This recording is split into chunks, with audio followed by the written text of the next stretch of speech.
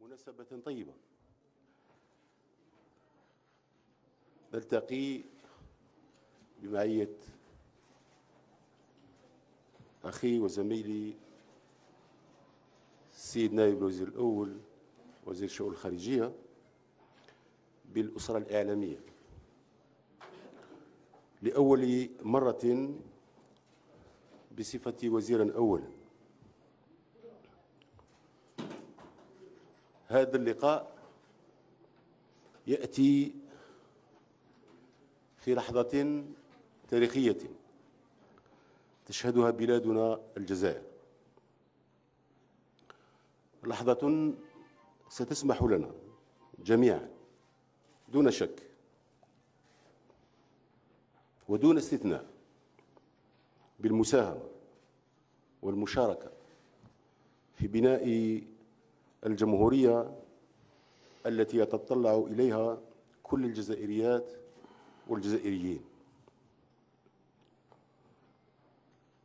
إن مناسبة اليوم سوف تكون فرصة لنا للحديث عن الوضع العام لبلدنا وبعض المسائل المرتبطة بالتطورات التي عشناها معا خلال الأسابيع القليلة الماضية كما سيكون هذا اللقاء فرصة مواتية لنستعرض معا فحوى الرسالة الأخيرة التي وجهها فخامة رئيس الجمهورية للأمة في هذا الظرف الخاص. بداية أرى أنه من الضروري والهام بصفتي وزيرا أولا وقبل ذلك مواطنا جزائريا مثلكم جميعا. أن أعرج على بعض النقاط الهامة والمحطات التي تستوجب مني في هذا الظرف التاريخي أن أؤكد عليها أمام أبناء وطني. إن الساحة الوطنية تشهد حركية سياسية خاصة سلمية وحضارية للتعبير عن انشغالات مواطنينا وتطلعاتهم.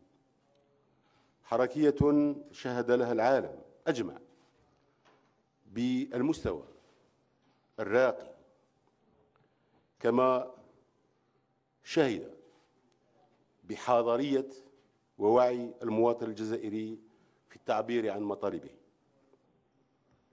وهو الأمر الذي نثمنه وتجاوب معه السيد رئيس الجمهورية بتفهم كبير وفوري.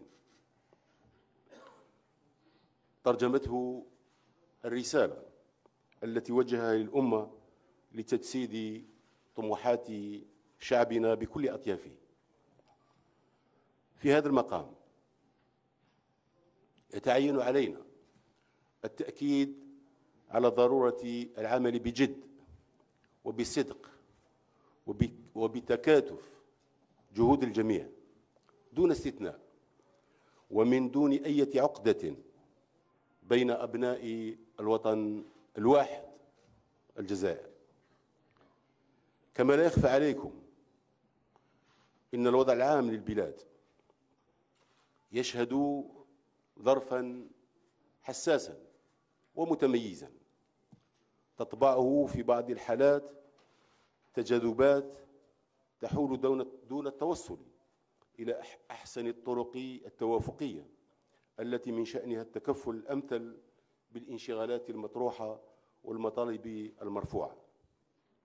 لهذا من الواجب علينا جميعا التحلي بالرصانة والعمل في هدوء وترسيخ الثقة بيننا وكسر كل حواجز الظن والتشكيك التي قد تراود البعض في صدق النيات ونبل المساعي.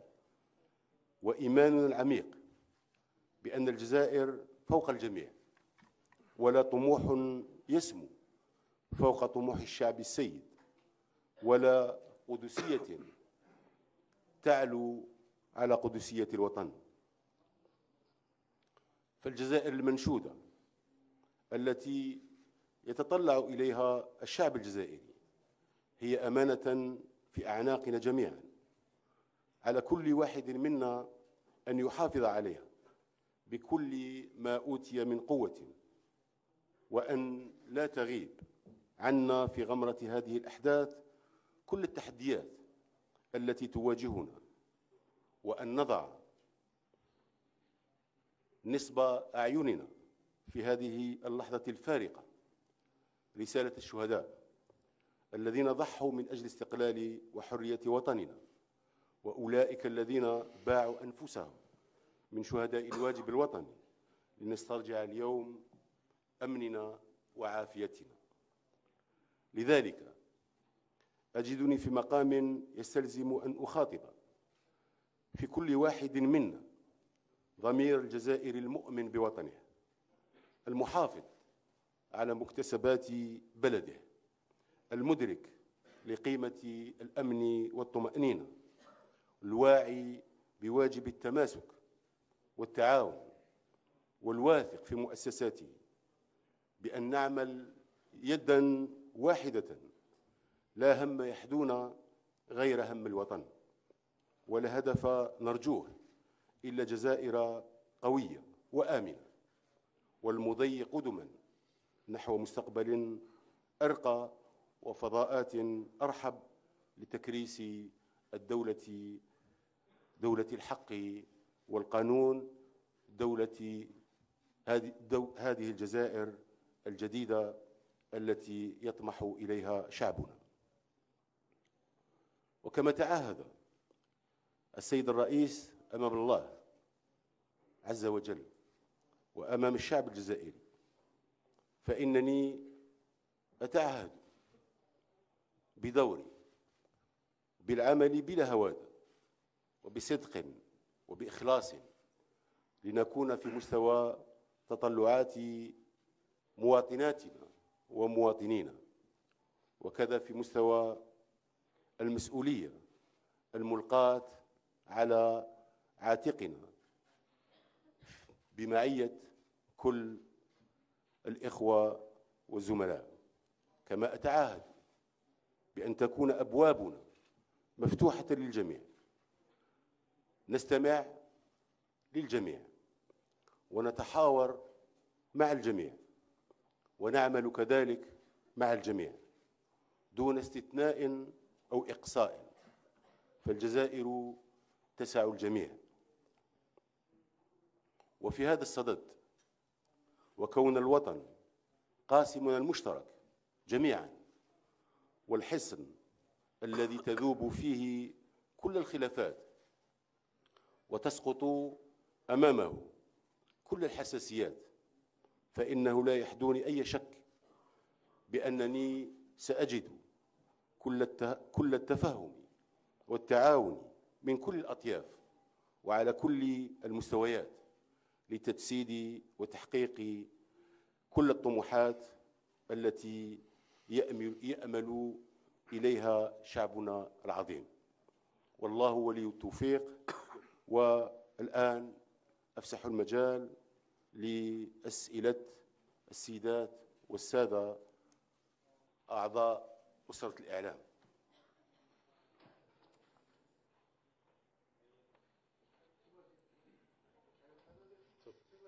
نبدأ هكذا.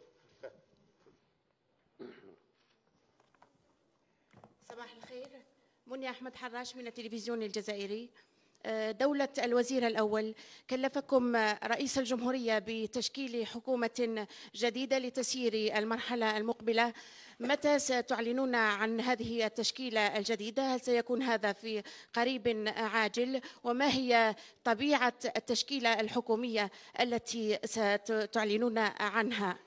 كذلك بالنسبة لندوة الوفاق آه، الشاملة والمستقلة التي جاءت في آه، رسالة رئيس الجمهورية. كانت كان تنظيمها محددا في الزمان يعني قبل نهاية 2019 هل آه، للحكومة أجندة زمنية لتنظيم هذه الندوة؟ وكيف ستكون معالمها؟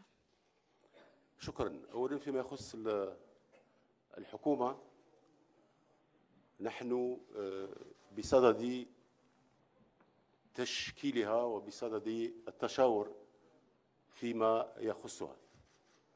ونقول بصدق بأن هذه التشكيلة سوف آه، تكون آه، تشكيلة بتمثل كل الطاقات وخاصة الشبانية من بناء بنات وطننا وأبناء وطننا آه، آه، لنكون إن شاء الله في مستوى هذه الطموحات التي عبر عليها المواطن الجزائري والذي آه، نعمل إن شاء الله على تجسيدها من خلال الواجب الذي تقوم به الحكومة والعمل الذي سوف تقوم تقوم به الحكومة وهو مرافقة.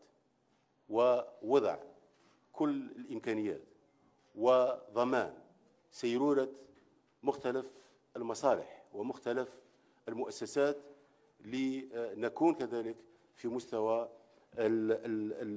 في المستوى التنموي وفي المستوى الذي ينتظره منا المواطن. وهي بالمناسبة حكومة مفتوحة للجميع. فنحن في آه، مرحلة آه، مشاورات وسوف يكون فيها آه، من آه، كفاءات ومن إطارات لأنها آه، حكومة تكنوقراطية فنأمل أن تكون. المساهمة مساهمة ال- الجميع في آه، من كل الأطياف السياسية لنكون إن شاء الله في مستوى هذه المرحلة القادمة التي هي مرحلة قصيرة. لا تتعدى السنة وسوف يكون لهذه الحكومة آه، عملا آه، ميدانيا وعملا آه، لمواكبة ومرافقة هذه ال- ال- التحديات التي تنتظرنا كجزائريين سؤال ثاني؟ أولوية الأولويات. ونحن آه، نعمل اليوم بوتيرة آه، سريعة. تتمثل في آه، في تشكيل هذه الحكومة ومباشرة بعد تشكيل الحكومة سوف نمر إن شاء الله كجزائريين إلى إلى وضع ال- ال- الآليات اللازمة لهذه الندوة الوطنية الجامعة من الذي آه، سوف آه، تكون مباشرة إن شاء الله بعد تشكيل الحكومة. تفضل. السلام عليكم. آه عبد اللطيف بالقايم آه قناة الجزائرية وان آه سيد الوزير الأول آه هناك آه سؤال مطروح جماهيري.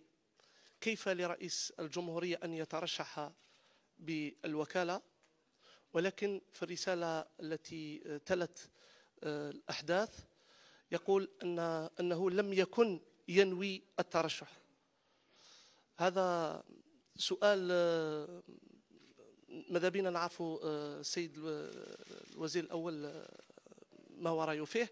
سؤال ثاني آه، هناك آه، من قرأ في آه، وزارة أولى برأسين يعني وزير أول ونائب نائب الوزير الأول. هناك قراءة تقول أنه هناك رغبة في قيادة الحكومة برأسين. آه، وزير أول للظل ووزير أول في الواجهة. خاصة أن هناك وزراء سبقوا السيد نور الدين بدوي قادوا ال- ال- الوزارة الأولى بأنفسهم يعني لم يكونوا في حاجة إلى آه، نواب آه، آخرين. ما رأيك؟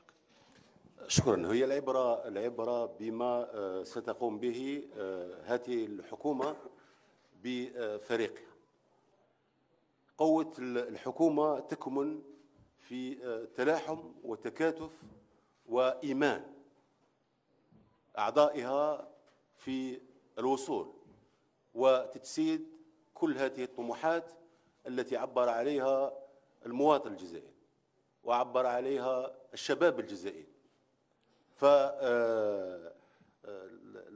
فتنظيمها ووجودها يدل كذلك على هذه الإرادة القوية في أن يتعاون كل أعضائها في رفع هذه التحديات المستقبلية. وشخصيا ليس ليس لدي أي مشكل في هذا بل بالعكس مبدئي هو أن نعمل كفريق واحد لهذه المرحلة الحساسة القادمة التي تنتظر تكاتف جهود الجميع كل فيما يخصه. كل فيما يخصه. من منطلق تجربة كل واحد منا من منطلق الإرادة والعزيمة التي يأتي بها كل واحد منا. الهدف هو أننا نكون ونجسد هذه الطموحات التي عبر عليها المواطنين الجزائريين والشباب الجزائري والمرأة الجزائرية وكل المجتمع الجزائري عبر ربوع الوطن بكل أطيافه. والقراءات كانت عديدة ومتعددة والرسائل كانت عديدة ومتعددة وقوية فسنعمل إن شاء الله في هذه الروح والروح نتاع نتاع الفريق الواحد المتكامل في رفع إن شاء الله هذه التحديات التي آه، تنتظرنا آه، مستقبلا. تفضل.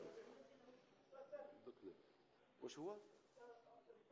الرئيس قراءتكم لرسالة الرئيس الأولى والثانية. ترشح ثم لم أكن آه، ثم يقول الرئيس لم يكن ينوي الترشح. أنا أنا بالنسبة إلي فيه تكامل في الرسالتين.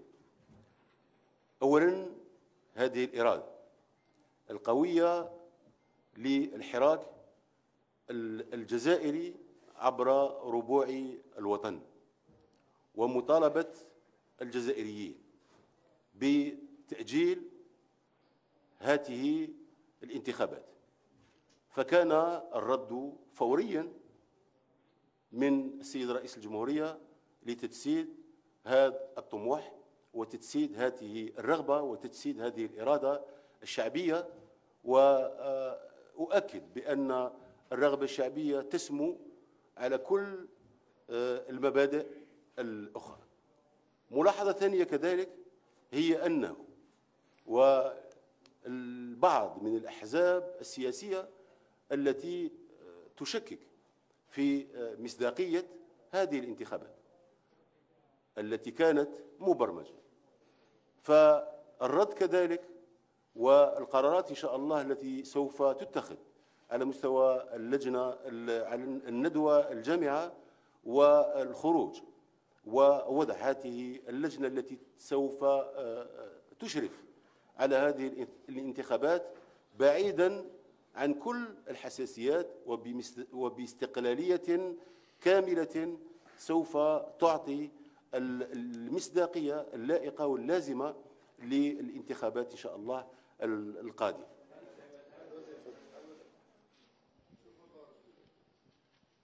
سيد الوزير الأول خالد بودية الخبر. آه، سيد الوزير الأول آه، قلت منذ قليل في إجابتك على سؤال زميل أنه آه، رئيس الجمهورية استجاب فوريا بتأجيل الانتخابات لكن لم نرى ما هو السند القانوني أو الدستوري إن صح التعبير الذي تم به تأجيل الانتخابات السؤال الثاني كان في الجمعات الثلاث السابقة كان الشعب يطالب بلا لعهدة خامسة رئيس الجمهورية ثم الآن تطور تطور المطلب إلى رفض التمديد الذي آه، قرأه البعض على أنه تمديد العهده الرابعة خصوصا أنه فيه آه، غدا الجمعة يعتقد أنها تكون أكثر من الجمعات الماضية. كيف ستتعاملون مع هذا الوضع؟ السؤال الثالث والأخير آه، إذا سمحت سيد الوزير الأول. قبل توليك هذا المنصب كنت قد كنتم قد أرسلتم من وزارة الداخلية مراسلة تحمل سري جدا إلى كل ولايات آه، تحمل أسماء معينة آه، أنه لازم تكون مراقبة لصيقه لهؤلاء. تعتقدون أنهم آه، يحرضون إن صح التعبير سواء على مواصل التواصل الاجتماعي. هل فعلا آه، سيد وزير الأول تعتقدون أن ما حدث في الجمعات السابقة هو تحريض وفيه أطراف تعمل على ذلك؟ شكرا.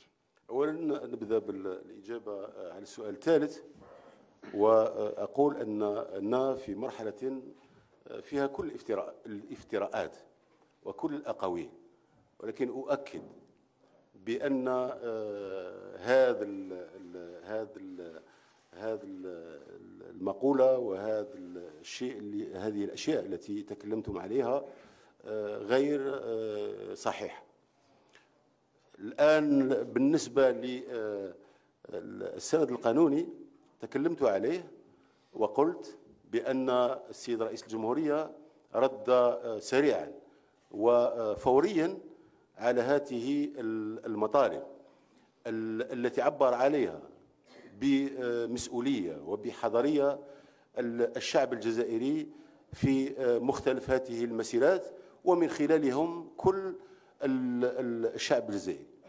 فهل هناك أسمى من الشعب الجزائري؟ هذا هو المبدأ الأساسي الذي يعتمد عليه فخامة رئيس الجمهورية في وهو الضامن في آه، في تجسيد كل الطموحات التي يعبر عنها الشعب الجزائري. أما فيما يخص ال ال ما ينتظرنا فنقول ونؤكد بأن هذه هذه القيم التي آه، هي موجودة اليوم وقيم التواصل وقيم الاستماع وقيم التحاور وقيم الالتقاء.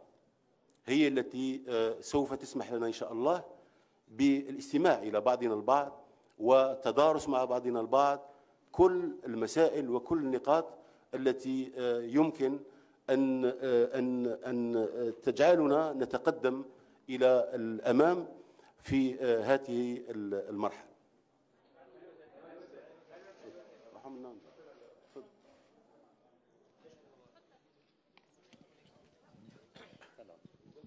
صباح الخير مع الوزير.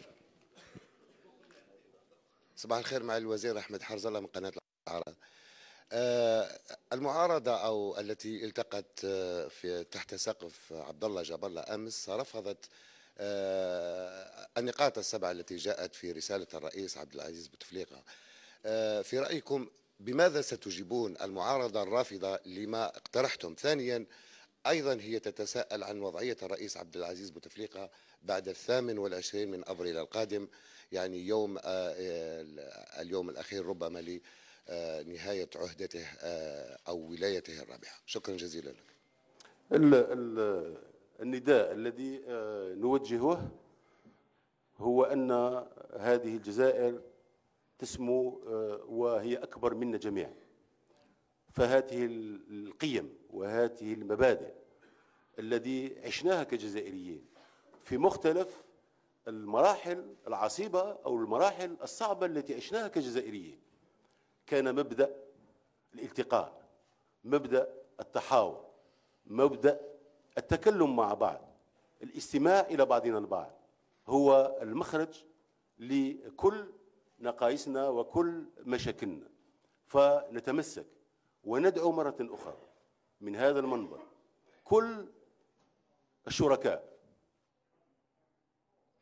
وخاصة الشركاء اللي هم موجودين في المعارضة لأن يتواصلوا في لإمكانية التحاور مع بعض التكلم مع بعض الاستماع إلى بعضنا البعض وهي قيمة أساسية لعبر عليها وكرسها ال- ال- الجزائريين في بعضهم البعض منذ منذ ال- ال- الأمد البعيد.